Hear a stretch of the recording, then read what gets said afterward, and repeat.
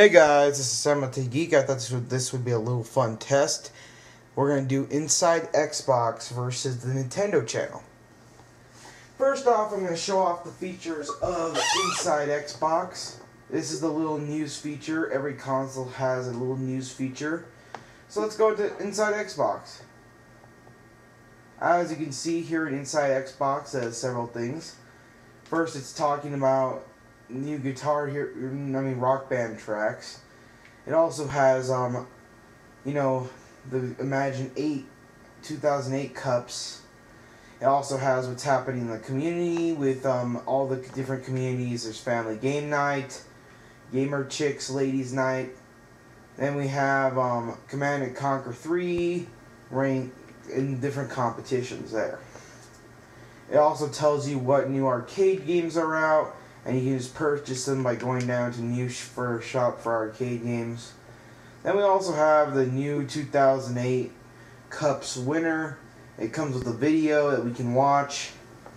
Almost all the news comes with a video. Some don't, some most of them do. So as you can see, I'm buffering the video. Shouldn't take too much longer.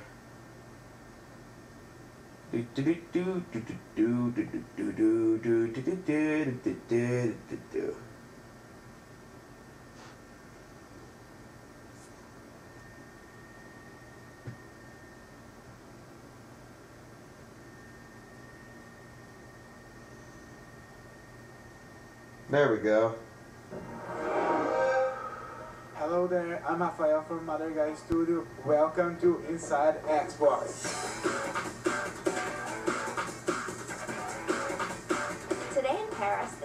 2008 Imagine Cup competition came to a close with the World Festival and Awards ceremony. Microsoft execs presented awards to the next generation of technology and business leaders. Congratulations from Xbox to all these talented students. It's fascinating to see, you know, the kinds of innovation And that's basically all the Xbox Inside Xbox does. Gives you new stuff. And it tells you you can download the demo, what demos are out. What and all kinds of stuff. Get free Halo downloads. As you can see, I could download some weird documentary thing. Legendary map maker. Someone sent me a message trailers, more and more stuff. And I can just do it straight from my menu rather than just, you know, go into find it myself. So inside Xbox has a little great features. Now let's look at the Nintendo channel and compare. Alright, hey guys, this is Simon Geek. Now we're gonna do the Wii channel. Now, um, First off, the thing that makes um the Wii channel a little bit unuser friendly is um I have to go down here, then press start. Now I know a lot of you say that's stupid. Why why is that a strike against it? Well, I am judging them very very closely, and I'm judging them on everything. I'm not going to pick and choose one over the other just because of this and that.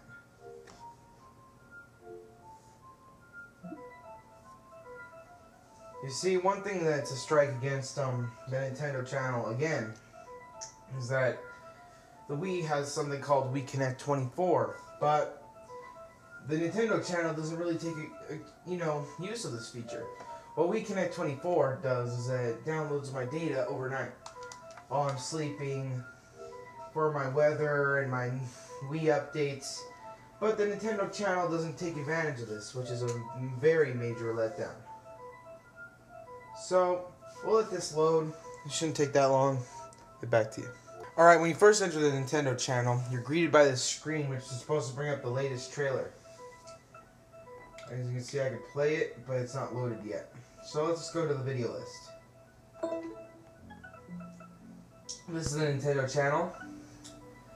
And this has um, behind the scene features of developer's voice, for Final Fantasy Crystal Chronicles: My Life as a King. It has tons of exclusive videos as well as um, trailers. It has trailers for every Wii and DS game, and it makes it brilliant for that purpose. You can also go into here, change the video volume, commercial message settings, data sharing settings, about Nintendo channel. You can also edit how your information's used. Because you also have the feature of um, submitting reviews. See, um, if I wanted to make a recommendation, say I played Super Paper Mario, who enjoyed it, um, males, enter age, 16,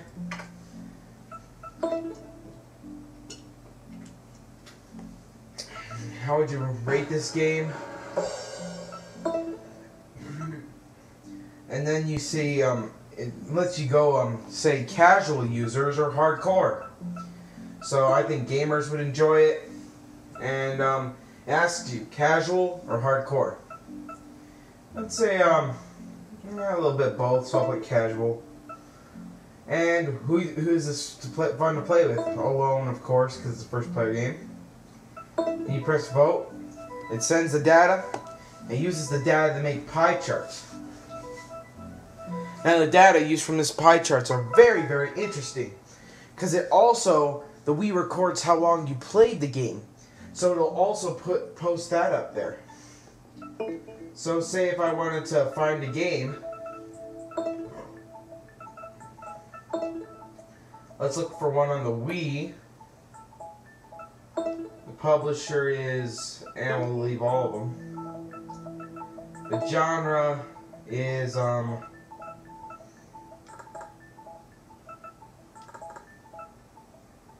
a shooter, I guess. And I press search.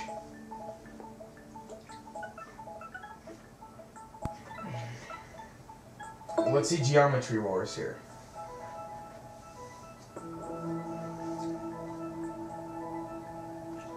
It's loading all the information for Geometry Wars.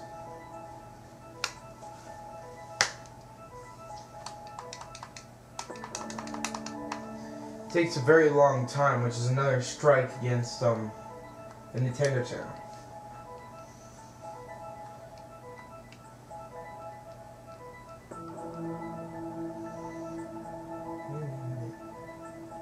It could be just my modem though, so keep that in mind.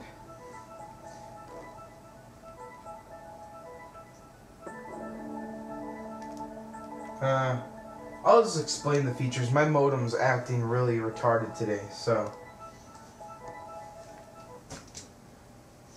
Alright.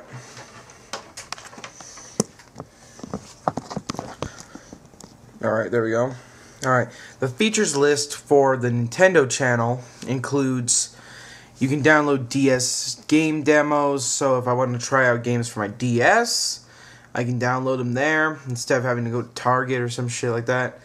So that's another good feature. It also gives me the option to see how long people are playing a game for, how much they like it, yada yada yada. I also can I also can watch every trailer of the games without downloading it, which is nice because on Xbox Live you have to download the trailer. You don't get the option just to watch it. Well, some trailers you do, not all of them though. So, overall, I have to say that the Nintendo channel is a better system, but Xbox, Inside Xbox does have its advantages, but most of the shit on Inside Xbox can be found on the web, whereas most of the WiiWare, I mean, the Nintendo channel stuff you can only find there, like how long people are playing, and specific things like that. So, in my opinion, Nintendo channel wins, but my modem was acting funny today, so I'm not able to show you everything it can do.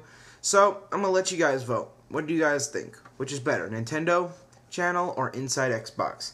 Samuel, out.